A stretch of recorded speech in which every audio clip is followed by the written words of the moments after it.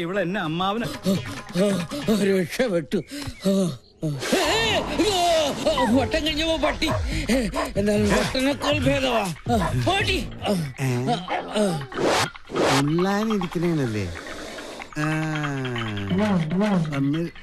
ഇത് ഞാൻ മുള്ളിക്കട.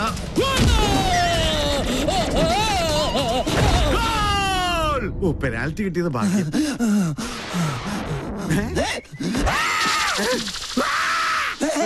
ദാ, നിക്കടാ അവിടെ. ഇതെവിടെ പോയി? ആ.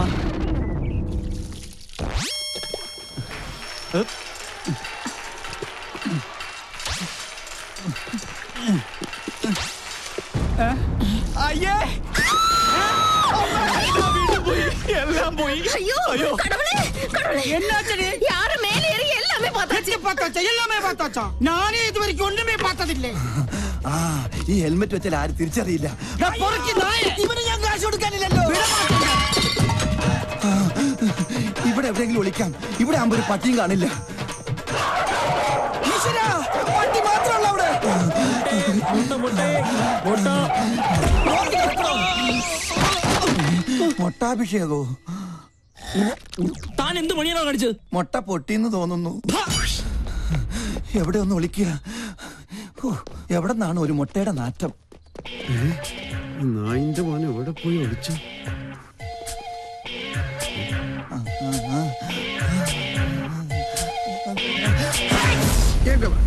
ഞാൻ തുമ്മിയ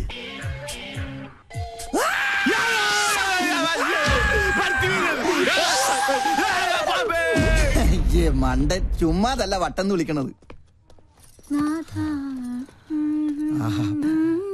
മോളു. നിന്നെ ഞങ്ങൾ എങ്ങോട്ട് പോയി വേതാളം? അവനെ നീ ഞാൻ പാതാളത്തിലാക്കും. ഈ വട്ടനെ ചികിത്സിക്കാൻ കണ്ടൊരു നേരം. ഇതിപ്പോ എന്നെ ചികിത്സിക്കേണ്ട ഗതിയായി. അയ്യോ. അയ്യോ. ആ. ആ. അയ്യോ ആ.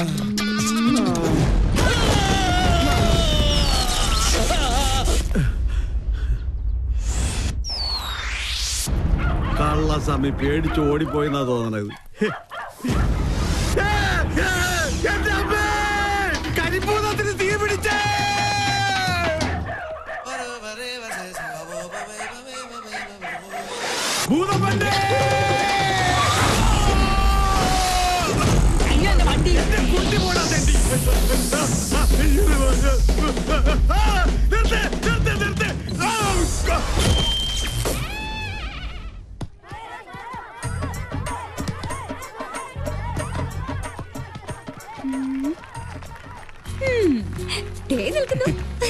അതെയോ? ഓക്കെ. ഞാൻ പിന്നെ വിളിക്കാം. ഓഹോ. പെണ്ണിന്റെ മുഖം കൊടുത്തിട്ടുണ്ടല്ലോ എവിടെ കക്ഷി? ഇത്തിരി ചോക്ലേറ്റ് ആണെങ്കിലും ആൾ കൊള്ളാം. എന്തായാലും ഞാൻ ഗ്രീൻ സിഗ്നൽ തന്നിരിക്കുന്നു. കണക്ഷൻ പ്രീപെയ്ഡോ അതോ പോസ്റ്റ് പെയ്ഡോ പോടാ ഇത് ലൈഫ് ലോങ്ങാ ജീവിതത്തിൽ ഇതുവരെ ഒരു ദുസ്വഭാവം ഇല്ലാത്ത ഈ പെണ്ണിനോട് പ്രേമിക്കാൻ പറഞ്ഞ ഞാനാ. ഇല്ലെങ്കിൽ ജാതകദോഷത്തിന്റെ പേരും പറഞ്ഞ് അമ്മയും മുത്തശ്ശനും ചേർന്ന് ഏതെങ്കിലും ഒരു കോന്നനെ ഇവളുടെ തല കെട്ടിവെക്കും. പ്രേമമാകുമ്പോ ഒരു സെലക്ഷൻ ഉണ്ടല്ലോ. ഹലോ നമ്മുടെ കാര്യത്തിൽ മാത്രം നീ ഒരു കരിങ്കാലി അതെ എന്റെ ഇൻകമിംഗ് കോൾ മിസ് കോൾ ആക്കരുത്. പോടാ ഡാഷേ. ആട്ടെ വേറെ എന്തൊരു സർപ്രൈസ് ന്യൂസ് ഉണ്ടെന്ന് പൂജ ടീച്ചർ പറഞ്ഞല്ലോ.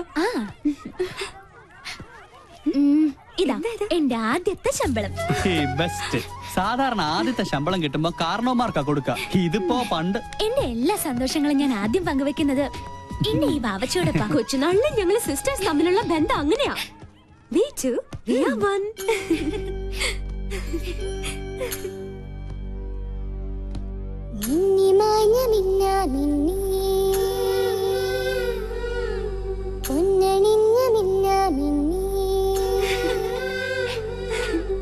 ഓടിയോടി വാ കൂടുമേഞ്ഞു താ കുഞ്ഞുവാവയാ കൂട്ടുകൂടി വാ മിന്നിമാഞ്ഞ മിന്നാ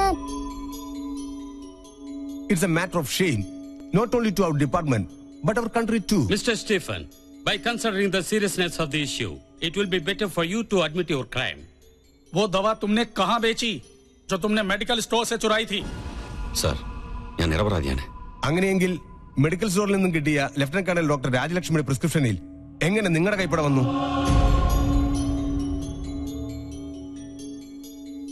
കമോൺ റിപ്ലൈ എന്നെ കരുവാക്കി ആരോ അത് മനഃപൂർവ്വം ചെയ്തതാണ് no sir he's telling lies ഇയാൾ കുറ്റക്കാരനല്ലെങ്കിൽ എന്തിനാണ് എന്നെ ഫോണിൽ വിളിച്ച് കമ്മീഷൻ ഓഫർ ചെയ്തത്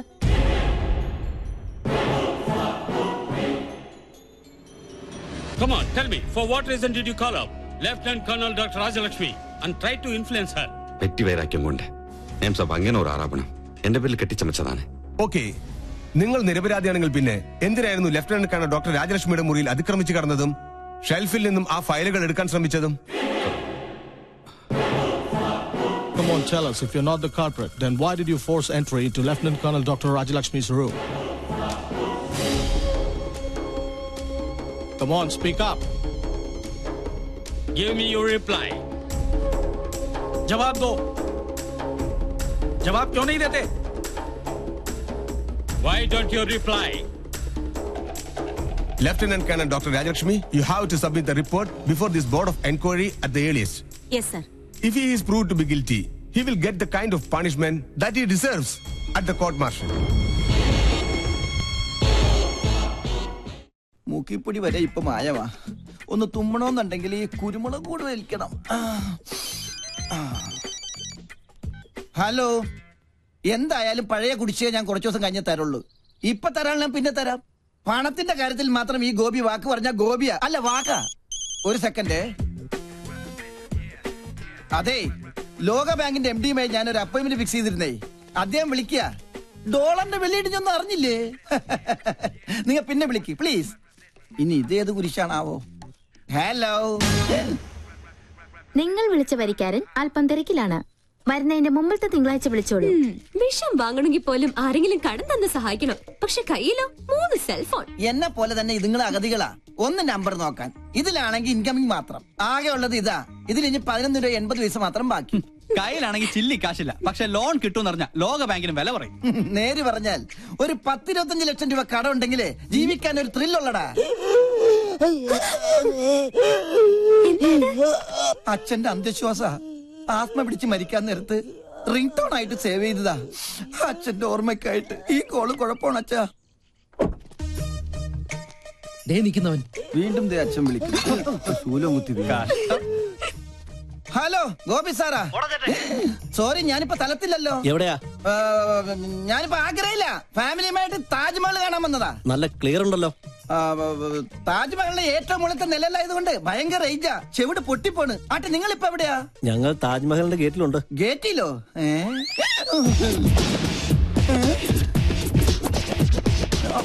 ഇവനെന്താ വൈബ്രേറ്റർ വെച്ചേക്കണോ? എന്റെ അമ്മേ ആരാത്? ഡീഫോൾട്ട് അക്കൗണ്ടിന്റെ കളക്ഷൻ ഏജൻസാ തേടി പിടിച്ച് ലോൺ കൊടുക്കും ഓടിച്ചിട്ട് വാങ്ങിക്കും. പച്ച മലയാളത്തിൽ പറഞ്ഞ ഗുണ്ടകൾ കയ്യെ കിട്ടിയ ഏതെങ്കിലും ഭക്തി സീരിയലുകാർക്ക് മറിച്ചു വെക്കൂടാ പട്ടി. അതിന് കൈ കിട്ടിയിട്ട് വേണ്ടടാ. കിട്ടുമോ നോക്കട്ടാ ഏത് കൈലാസ്യമേ ഒളിച്ചാലും നിന്നെ പിടിക്കൂടാ ഗോപി. മര്യാദയ്ക്ക് കാശ് തന്നിട്ട് പോടാ. അമ്മേ ഭഗവതി. ഓ കലികാലം. ദേ ശിവൻ അമ്പലത്തിൽ ഇറങ്ങി. ലോൺ എടുത്തിട്ടുണ്ടാ. നിക്കടാ ഓടിയാൽ ഓടിച്ചിട്ട് പിടിക്കും. ഓടുന്നവനെ ഓടിച്ചിട്ടല്ലാതെ പിന്നെ ചൂണ്ടയിട്ട് പിടിക്കാൻ പറ്റോ? ഈ ആൽമരത്തിന്റെ ചുറ്റി എവിടെയെങ്കിലും ഓടിക്കാം ആ നല്ലൊരു പൊത്ത് കിട്ടി.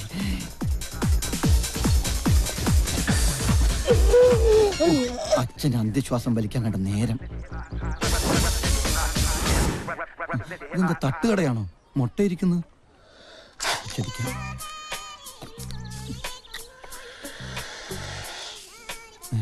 ആരാ ചൂ എന്ന് മുന്നെ വിളിച്ചത്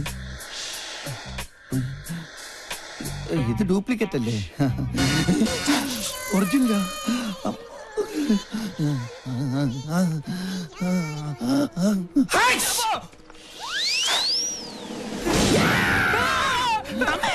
അത് ശരി. ശിവനെ. ആ മൂന്നേരം ഉണ്ടല്ലോ മുതലും പലിശയും വേണം. മുതലായിട്ടാ ക്യാമറ പോരെ മുതലാളി എന്തിനാ ജപ്തി ചെയ്തത്. ഇന്നത്തെ ഷൂട്ട് മുടങ്ങി ആകെ പ്രശ്നവും. ഒരു ദിവസം കൂടി ക്ഷമിക്കണം പ്ലീസ്. നാളെ കാലത്ത് പലിശ തുക എങ്ങനെയാലും ഞങ്ങൾ അടച്ചോ അടച്ചോളാം കൊടുക്കാനാണ്? വിശ്വാസം അല്ലെങ്കിൽ ഗ്യാരണ്ടിക്ക് വണ്ടിയുടെ ചാവി. ചാവി കൊടുക്കല്ലേ? കൃത്യം ഫെബ്രുവരി മുപ്പത്തൊന്ന് ഓക്കെ ഓക്കെ. നിങ്ങളുടെ ഉറപ്പിൽ ഒരു അവധിയും കൂടി തരാം. അതെ പലിശീലത്തിൽ കുടിശ്ശിക അൻപതിനായിരം രൂപ നാളെ തന്നെ കിട്ടിയിരിക്കണം. വാക്കാണോ? നാളെ രാവിലെ ഞങ്ങൾ എത്തിയിരിക്കും. വാക്ക് പറഞ്ഞ വാക്കായിരിക്കണം. ആണോ അയ്യോ എന്റെ ശൂലം.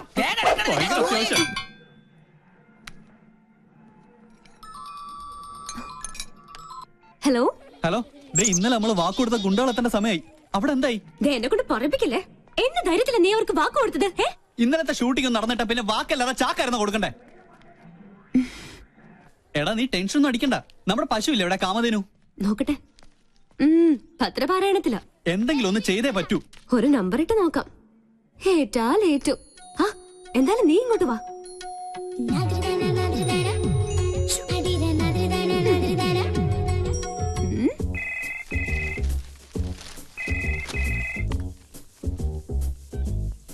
ഹലോ. വല്യമ്മ ഞാനാ രാജലക്ഷ്മി. എന്താ മോളെ? അത്യാവശ്യമായി എനിക്കൊരു അൻപതിനായിരം രൂപ വേണം. ഹോസ്പിറ്റലിൽ നിന്ന് വന്നാൽ ഉടൻ തിരിച്ചു തരാം. അതിന് ഇപ്പൊ ഇവിടെ എന്റെ കയ്യിൽ കാശില്ലല്ലോ മോളെ. ഒരു ക്യാഷ് ചെക്ക് തന്നാ മതി. ഞാൻ മാറിക്കോളാം. വളരെ അർജന്റാ. ആരുടെയെങ്കിലും കയ്യിൽ കൊടുത്തു വിട്ടാലും മതി. പൂജമോൾ സ്കൂളിൽ പോയല്ലോ. ആ പിന്നെ ആ മരം കയറിയുണ്ട് പിങ്കി. വേറെ നിവൃത്തിയില്ലെങ്കിൽ അവളുടെ കയ്യിൽ തന്നെ കൊടുത്തു വിട്ടേക്ക്.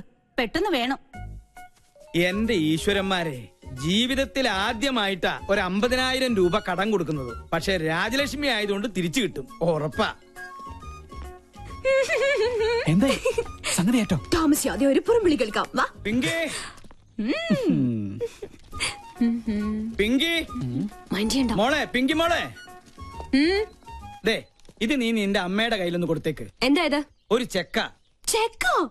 എനിക്ക് പറ്റില്ല. അല്ലെങ്കിൽ തന്നെ ഞാൻ തൊട്ടതിനെല്ലാം കുറ്റ. അത് കറക്റ്റ് ഈ കാശിന്റെ ഇടപാടൊക്കെ നമ്മൾ വളരെ സൂക്ഷിച്ച് തന്നെ കൈകാര്യം ചെയ്യണം. നീ ആര്? കേന്ദ്ര പോടാ പോടാ. മോളി ചെക്ക് പിടിച്ചേ. അത്രയ്ക്ക് അത്യാവശ്യം ഉണ്ടെങ്കിൽ നിന്റെ അമ്മ എന്നോട് ചോദിക്കുള്ളൂ മോൾ ഇതൊന്ന് പിടിച്ചേ. Okay okay okay. ഞാൻ വാങ്ങിക്കാം. പക്ഷെ ഇതിന്റെ പേരിൽ ഒരു പ്രോബ്ലം ഉണ്ടാവില്ലാന്ന് മുത്തശ്ശൻ സ്വന്തം തലയിൽ തൊട്ട് സത്യം ചെയ്യണം. അതെ അതെ. അതാണ് അതിനൊരു ശരി. വേണ്ട വേണ്ട. ഒരു പ്രാവശ്യം നിന്നോട് ഞാൻ പറഞ്ഞു. ഇതിപ്പോ കടം കൊടുക്കുന്ന എന്നേക്കാൾ ടെൻഷൻ നിങ്ങൾക്കാണല്ലോ. ഒരു സത്യത്തിന്റെ കാര്യമല്ലേ ഉള്ളൂ. ദേ എന്നാണ് സത്യം? ഇതേ ചൊല്ലി നിനക്കൊരു പ്രശ്നം ഉണ്ടാവില്ല. പോരെ ഇത് പിടിച്ചേ. അപ്പൊ അത് കഴിഞ്ഞു. ആ മുത്തശ്ശ പ്രഷറിനുള്ളൊരു ഗുളിക മേശമേലെടുത്ത് വെച്ചിട്ടുണ്ട്. അതിന് എനിക്ക് പ്രഷർ നോർമലാണല്ലോ അല്ല ചിലപ്പോ അബ്നോർമൽ ആയാലോ? അതെ ഈ മനുഷ്യന്റെ കാര്യല്ലേ? കണ്ടു കണ്ടങ്ങിരിക്കും ജനങ്ങളെ. രണ്ട് പ്രാവശ്യം ഞാൻ നിന്നോട് പറഞ്ഞു നിന്റെ വണ്ടിയും കിണ്ടിയൊക്കെ ഞാൻ കത്തിച്ച് കാട്ടിക്കളി. ദേ മോളെ ഈ മുത്തച്ഛ ഫുൾ ഹെൽത്തിയാ ദേ കണ്ടില്ലേ? പദം പദം ഉറച്ചു നാം പാടി പാടി പോവുക. ഭാരതം കണത്തിലേക്ക് so late? Sorry okay yes madam. അല്ല നിന്റെ വീട്ടിലെ കാലാവസ്ഥ ഇപ്പൊ എങ്ങനെ? ഇടിയോട് കൂടിയ മഴയ്ക്ക് സാധ്യതയുണ്ടെന്നാണ് ലേറ്റസ്റ്റ് റിപ്പോർട്ട് ഹലോ ഡാ എനി ഹോട്ട് ന്യൂസ് മുത്തശ്ശന് പ്രഷർ കൂടി. ഇപ്പൊ ആരോടും ഒന്നും മിണ്ടാതെ ഒരു മൂലയ്ക്ക് കുത്തിയിരിക്കുക അയ്യോ പാവം. ഭക്ഷണം ഞാൻ വരുന്ന വഴി കഴിച്ചോളാം. പിന്നെ പുറകുവശത്തെ വാതിലിന് കുറ്റിയിടണ്ട.